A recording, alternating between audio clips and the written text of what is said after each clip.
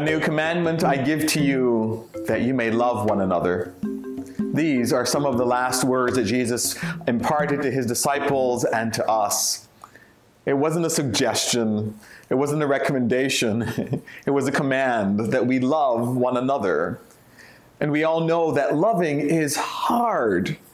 It is difficult work to love someone who cuts you off in traffic.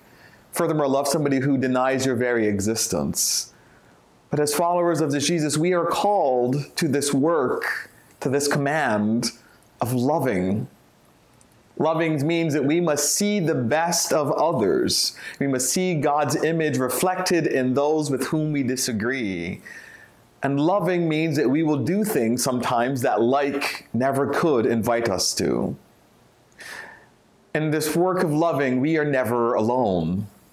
There's a wonderful children's book called The Red Thread, where it describes a thread that connects us to all the people whom we love those who are with us close by, those who are far away, and those who are in nearer presence with God.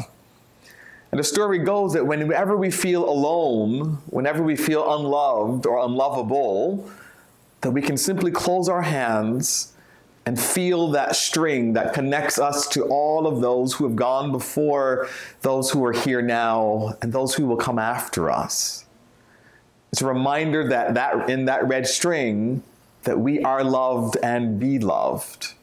And that in doing this work of trying to love as Jesus did, that we are never alone. So I invite you to join with those who gather as Grace Christian Connections on March 19th at 3 o'clock for Love Day. It's an opportunity for us to not just hear about, but to practice being and doing that hard work that Christ gave us to do. I invite you to make that commandment to love one another as Christ loved us real and present with those who have gone before, those who are with us now, and those who will come after.